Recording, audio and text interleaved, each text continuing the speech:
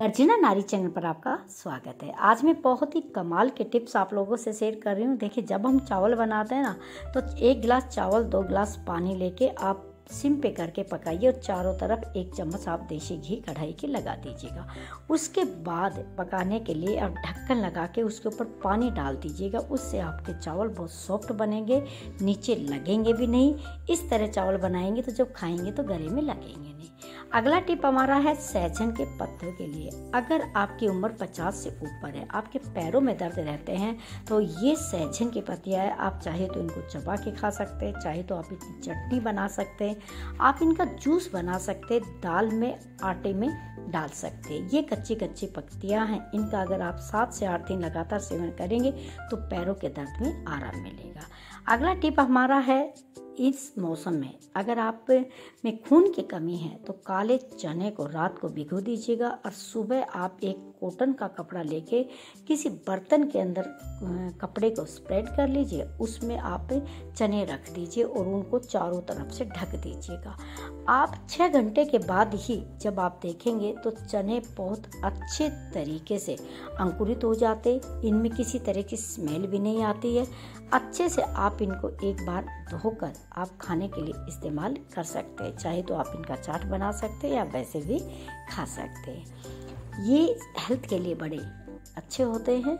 खून की कमी को दूर कर दे। अगला टिप हमारा है कि देखिए, जब भी हम आलू लेके आते हैं, आलू रखे रखे इस तरह अंकुरित हो जाता है। जब ये अंकुरित होता है ना तो आलू के अंदर एक जहरीला केमिकल रिलीज़ होता है। तो कभी भी ये अंकुरित आलू अपने बच्चों को ना खिलाए, क्योंकि सेहत के लिए ये बहुत ही हानिकारक होते हैं। कहा जाए तो ये एक धीमा जहर होता है जो अंकुरित आलू। ये नहीं है कि आप इनको तोड़ के फेंक देंगे, अंकुरित और फिर खाएँगे, ऐसा बिल्कुल ना करें। अगला टिप हमारा है, जब भी हम दाल बनाते सामर बनाते हैं तो हम हरक की ये वाली दाल लेते हैं और बनाने से आधा घंटे पहले हम इसको भिगोते हैं।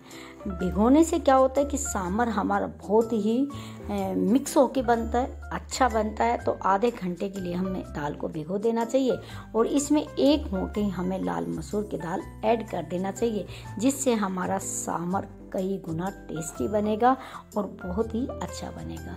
जब भी हम इडली बनाते हैं तो बनाने के बाद सारी इडली को एक बर्तन में निकाल के ढक के रखना चाहिए, क्योंकि ये सॉफ्ट रहेंगी, ऊपर से ये बिल्कुल भी सूखेगी नहीं। और खाने से पहले आपको एक काम करना है कि एक बड़ा सा बर्तन ले लीजिएगा और पहले इनको ढक के रखिए, दबा के रखिएगा और बड़े से बर्तन में आप चार से पाँच इडली निकाल के डाल लीजिएगा।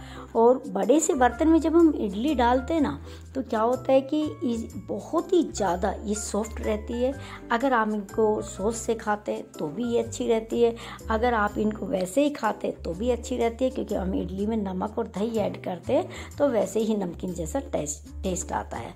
और ज़्यादा स्वादिष्ट बनाने के लिए जितनी ज़रूरत है, उतनी इडली आप एक बर्तन में निकाल लीजिए।